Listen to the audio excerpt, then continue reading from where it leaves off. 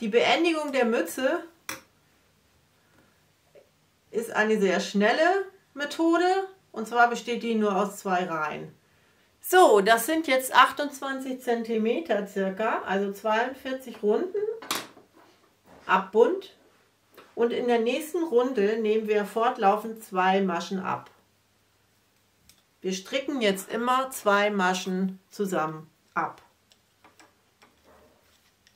Und dann ist das Ende der, dann ist die Mütze schon fertig.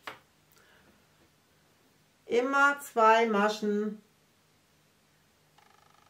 rechts zusammenstricken.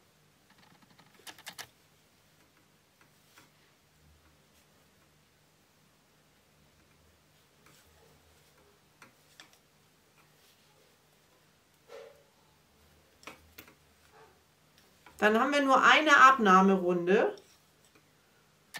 Das ist super einfach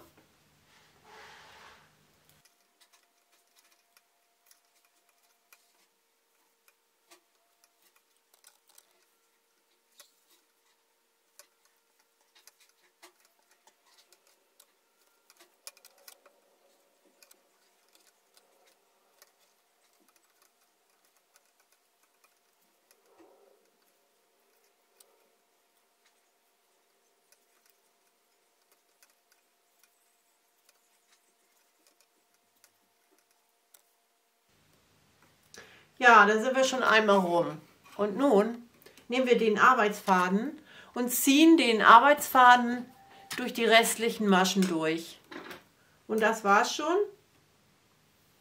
Dann sind wir fertig. In der ersten Reihe stricken wir immer zwei Maschen zusammen ab und in der nächsten Runde ziehen wir die alle mit dem Arbeitsfaden zusammen. Und zwar